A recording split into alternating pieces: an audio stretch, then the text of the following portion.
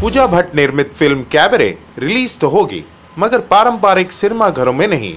बल्कि इस फ़िल्म का डिजिटल रिलीज़ होगा। यह फ़िल्म तो सिनेमा घरों के लिए ही बनी थी, लेकिन पूजा भट्ट समय के साथ चलते दर्शकों तक पहुँचने का आधुनिक तरीका अपनाना चाहती हैं। लोग अब अपने खुद के कंफर्ट में, खुद के घरों में, अपने फ़ोन पे टैबलेट पे कंप्यूटर स्क्रीन पे या टेलीविज़न पे अपनी एंटरटेनमेंट कंज्यूम करना चाहते हैं। अपने टाइम पे क्योंकि काम सबके होते हैं टाइम किसी के पास होता नहीं है। इतने चॉइसेस हैं किस फ़िल्म पे कम्पीट करें पे, पे, को को, को कमिट करें किस पे ध्यान दें। हम लोग साइमल्टेनियसली फ़िल्म भी देख रहे हैं किसी का प्रोमो भी देख रहे हैं फ़ोन भी ले रहे हैं खाना भी बना रहे हैं। So there lots of things are happening simultaneously and I think that Cabaret is a kind of movie that belongs to a discerning audience जो आप अपने टाइम पे आराम से देख सकें जब भी आप चाहते हैं अगर आपको पॉज करना है पॉज करें। और अगर आपको लगता है कि नहीं यार ये आपको कहीं ना कहीं वापस काम से खींच रहा है, वापस to see something that is is gorgeous as Richa Chadda performing के घुंगरू you watch it so I think that thank you to the universe because I think that everything happens in time and at the right place and I think that I would like to thank my partner Sheel Kumar and Z5 कि जब ये सब लोग ने conviction छोड़ दी, उन्होंने उस time पे हाथ बढ़ाया। और कन्विक्शन के साथ में मुझे कहा कि चलो ये फ़िल्म रिलीज़ करते हैं और इसलिए मैं यहाँ हूँ आज। तो महत्वपूर्ण रोल है और मेरा पूरा को, कोशिश ये था कि मैं इसको पूरी अच्छे दिल से निभाए और पूजा दी ने एक अच्छा एक प्लेटफॉर्म दिया है मुझे। तो fully this will help me to get further roles और डिजिटल प्लेटफॉर्म में रिलीज़ हो रहा है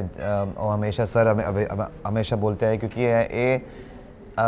सिर्फ़ एक छोटे पर्दे के लिए नहीं था।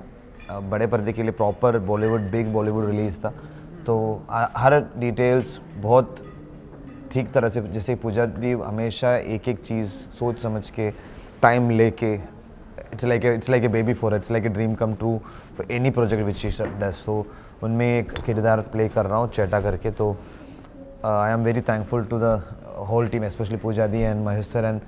I was very lucky to see him work and, you know, have an interaction with him and also that helped me in the next movies which I did uh, like I did couple of other movies also तो uh, अभी future में भी अभी ये work करने के बाद मैं एक्साइटेड तक कब रिलीज़ होंगे और मुझे I am really excited now क्योंकि डिजिटली डिजिटल प्लेटफॉर्म में कोई भी देख देख सकता है hmm. और हर किसी का नहीं बिल्कुल जैसे आ, सही कहा पहली बात तो ये कि बिल्कुल वाकई एक्साइटेड हैं दूसरी बात ये कि ये आ, सिनेमा बड़े सिनेमा के लिए बड़े पर्दे के लिए बनाई गई है फ़िल्म और जैसे कि समय के साथ चलना इवॉल्व होना बहुत ज़रूरी है। फ़िल्म बनाने वालों ने डिसाइड किया कि ये पिक्चर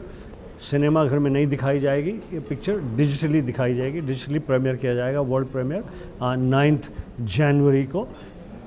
और इसमें जो डिजिटल व्यूइंग है, उन लोगों का एक्सपीरियंस एक नया पॉजिटिव शॉक होगा उन्हें कि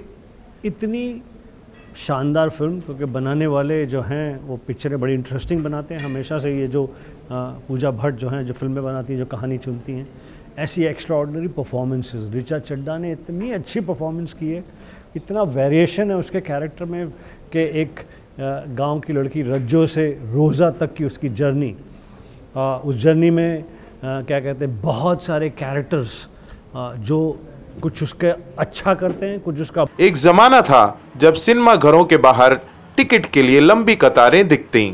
लेकिन समय के चलते फ़िल्म के रिलीज़ में भी बड़ा बदलाव आया है।